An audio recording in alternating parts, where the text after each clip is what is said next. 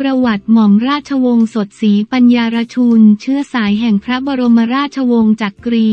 ทำความรู้จักประวัติหม่อมราชวงศ์สดศรีปัญญารชุนภริยาของอานันต์ปัญญารชุน อดีตนายกรัฐมนตรีคนที่ 18 ของไทย ประวัติหม่อมราชวงศ์สดศรี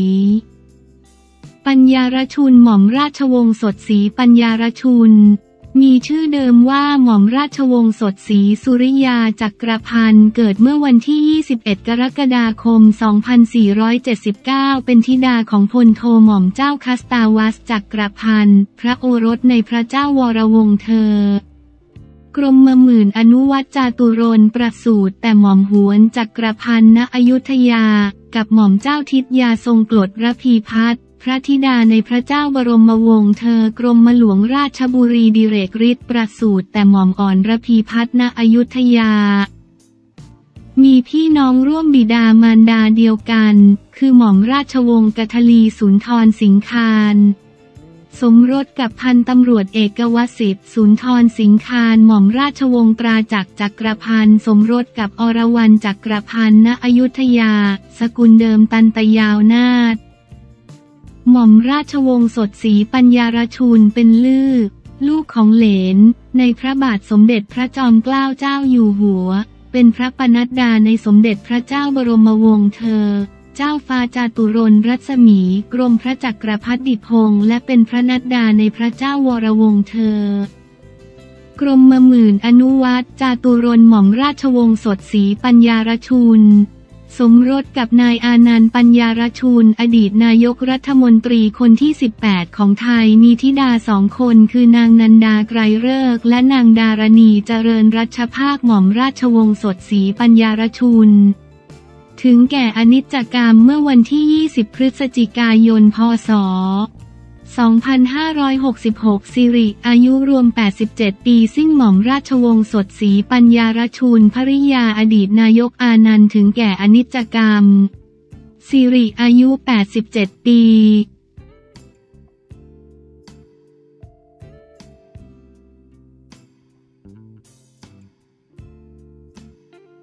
รู้จัก จีรนันเสเวตนัน รองนางงามจักรวาลคนแรกของไทยเมื่อ 57 ปีก่อนหลายคนเพิ่งรู้เป็นแม่นักร้องดัง เป็นที่ทราบดีว่าการประกวดนางงามจักรวาลมีสาวงามตัวแทนจากประเทศไทย ที่ได้ครองมงกุฎได้ถึงสองคนคืออาพัสราหงสกุลนางงามจักรวาลพศ 2508 และพรทิพย์นาคฮิรันกนกนางงามจักรวาลพศ 2531 นอกจากสองท่าน ซึ่งเป็นตำนานนางงามจักกระวาลที่คนไทยรู้จักกันดี ก็ยังมีสาวงามที่ได้รับตำแหน่ง รองนางงามจักกระวาลซึ่งเป็นคนเดียวในประวัติศาสตร์ของนางงามไทย คือจีรนันทน์ เศวตนันทน์คว้าตำแหน่งรองอันดับสองนางงามจักกระวาลพศ 2509 ก่อนที่ 57 ปีต่อมา แอนโทเนียโพซิ้วจะสร้างประวัติศาสตร์หน้าใหม่ด้วยการคว้าตำแหน่งรองอันดับหนึ่งมิสยูนิเวิร์สมาครองในปี 2566 จีรนันเสเวตนันหรือเล็ก เป็นบุตรสาวของพลตำรวจตรีจรุงกับ นางอารามศรีเสเวตนันด้วยเหตุที่บิดาเป็นนายตำรวจจึงทำให้ครอบครัวต้องย้ายติดตามบิดาไปรับตำแหน่งในพื้นที่ต่างจังหวัด อาทิปรังสงขลายะลาและอื่นๆ จนกระทั่งบิดาของเธอได้มารับราชการประจำอยู่ที่ จังหวัดสุราษฎร์ธานีนางอารามศรีจึงได้ให้กำเนิดบุตรสาวที่ชื่อจีรนันเมื่อวันที่ 25 ตุลาคม พศ 2484 จีรนันได้รับการศึกษาจากโรงเรียนที่กรุงเทพมหานคร โดยเริ่มต้นจากโรงเรียนอนุบาลสวนเด็ก โรงเรียนเขมสิริอนุสรจนจบประกาศนียบัตรชั้นสูงจากโรงเรียนกรุงเทพการบัญชี ต่อมาในพศ 2505 เธอได้ตัดสินใจไปศึกษาด้านภาษาและเปียโนที่ประเทศอังกฤษ รวมทั้งรับหน้าที่เป็นครูสอนภาษาไทยให้กับหม่อมราชวงศ์นริศราจักรพงศ์พระธิดาในพระเจ้าวรวงศ์เธอ พระองค์เจ้าจุลจักรพงศ์ที่นั่นด้วยนายรองสนิท โชติกาเสถียรทาบทาม จีรนันจากบิดาของเธอให้เข้าประกวดนางสาวไทย ในนาม ราชตรินนามัยสมาคม ตอนนั้นจีรนนท์อายุ 24 กำลังเรียนภาษาอยู่ประเทศอังกฤษ ก็ถูกคุณพ่อเรียกตัวกลับมาให้เข้าประกวด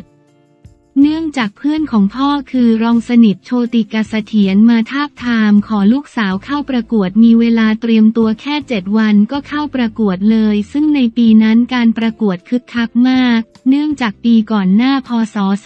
2508 อาภัสราหงสกุล พิ่งคว้ามงกุฎนางงามจักกรวาลมาได้ ถึงแม้ว่าเธอจะใช้เวลาเตรียมตัวเข้าประกวดนางสาวไทยแค่เจ็ดวัน แต่ด้วยใบหน้าที่สวยคมทันสมัยบวกกับส่วนสูงถึง 168 เซนติเมตร อีกทั้งยังสามารถพูดภาษาอังกฤษได้อย่างคล่องแคล่ว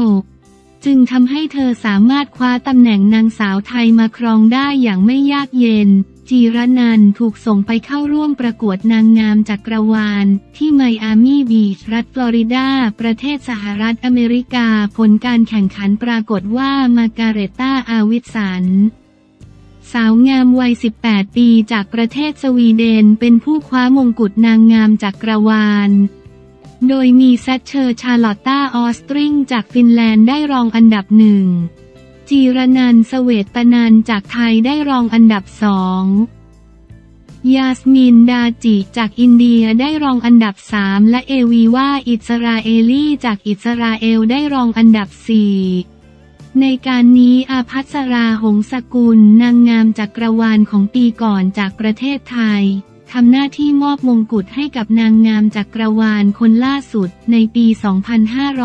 2509 ประเทศไทยได้เป็นเจ้าภาพจัดการแข่งขันกีฬาเอเชียนเกมเป็นครั้งแรก จีรนันก็ได้รับหน้าที่เป็นผู้เชิญเหรียญรางวัลให้แก่นักกีฬาที่เข้าร่วมการแข่งขันในปัจจุบันคนรุ่นใหม่อาจจะรู้จักเธอในฐานะมารดาของศิลปินหนุ่มชื่อดัง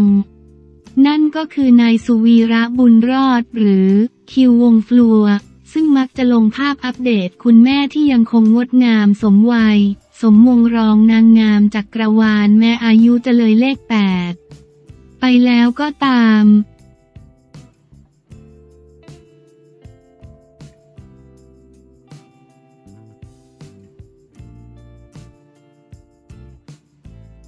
คดีกำนันนกไม่จบสอสอวิโรธร้อง DSI ตรวจการตายผู้กำกับการเบิ้มอาจเข้าข่ายพรบอุ้มหายวิโรธร้อง DSI คดีกำนันนกตรวจสอบการตายของ ผู้กำกับเบิ้มปลิดชีพคาบ้านพักชีอาจเข้าข่ายพรบอุ้มหายวันนี้ วันที่ 21 พฤศจิกายน 66 เวลา 14 นาฬิกา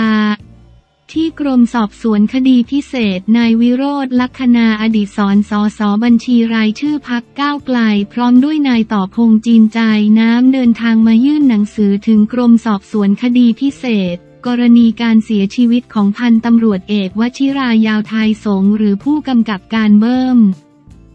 ปลิดชีพตัวเองคาบ้านพักจากเหตุพันตำรวจตรีศิวกรสายบัว หรือสารวัตรแบงค์ถูกลูกน้องกำนันนกยิงเสียชีวิต อาจเข้าข่ายการกระทำความผิดตามพรบป้องกันและปราบปรามการทรมาน และการกระทำให้บุคคลสูญหายหรือไม่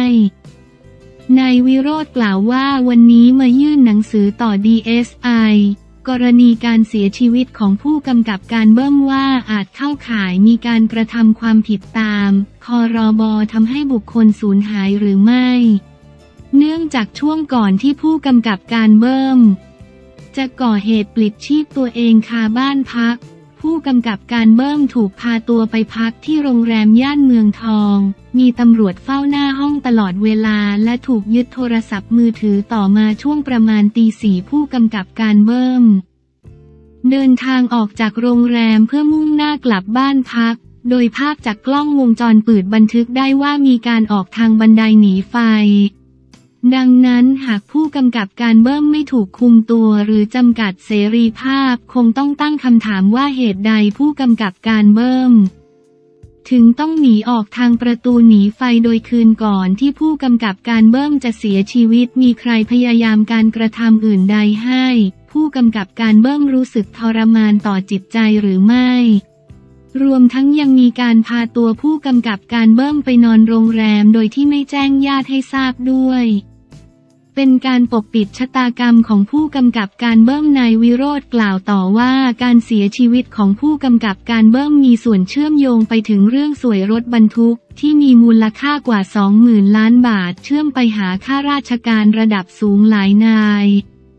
เป็นคดีที่มีความซับซ้อนกระทบศีลธรรมอันดีของประเทศลักษณะของคดีอย่างสวยรถบรรทุกเข้าข่ายในความรับผิดชอบ DSI นอกจากนี้กรณีรถบรรทุกตกลงในบ่อบริเวณสุขุมวิทเศษ 64 ส่วนหนึ่ง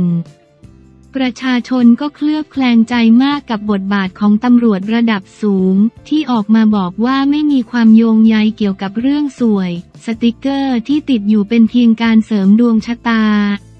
โดยปัจจุบันตำรวจไม่ได้อยู่ในจุดที่ประชาชนไว้เนื้อเชื่อใจได้ จึงต้องหวังพึ่งกรมสอบสวนคดีพิเศษ ส่วนสาเหตุที่เพิ่งเดินทางมายื่นหนังสือ ตนคิดว่าคงต้องพิจารณากันหลายเรื่อง เพราะกฎหมายนี้เป็นกฎหมายใหม่จึงได้มีการปรึกษาฝ่ายกฎหมายตั้งข้อสงสัยต่างๆจึงคิดว่าอาจเข้าข่ายความผิดพรบกระทำให้สูญหายโดยข้อมูลทั้งหมดที่นำมายื่นวันนี้เป็นข้อมูลโดยสุจริต ที่ได้จากการรายงานข่าวจากแต่ละสำนัก เมื่อรวบรวมแล้วพบว่ามีความผิดปกติ ส่วนรายละเอียดหลังจากนี้จะเป็นอย่างไร ตนหวังว่ากรมสอบสวนคดีพิเศษจะสอบสวนเชิงลึก เป็นโอกาสดีที่จะทำให้สังคมเรียนรู้ประโยชน์จากพรบฉบับนี้ด้วยส่วนที่ทางครอบครัวผู้กำกับการเบิ่มไม่ติดใจสาเหตุการเสียชีวิตนั้น ตนเองก็เชื่อผลชันสูตรว่าเป็นการปลิดชีพ แต่ต้องสอบสวนเหตุการณ์ก่อนหน้าที่จะปลิดชีพ สาเหตุการเสียชีวิตไม่ใช่ประเด็น แต่ประเด็นคือเหตุการณ์ก่อนน่าจะเสียชีวิต ที่ไม่มีคนให้ความสำคัญทนายต่อพงกล่าวว่าพรบกระทำให้บุคคลสูญหายปี 2565 มีผลบังคับใช้วันที่ 22 กุมภาพันธ์ 66 เป็นกฎหมายที่ค่อนข้างใหม่ การคุมขังลักษณะนี้ต้องมีการบันทึกภาพและวิดีโอ แต่เคสนี้ไม่มีวันนี้พักก้าวไกลนำโดยนายวิโรธจึงมีความจำเป็นต้องเดินทางมายื่นให้ DSI ตรวจสอบ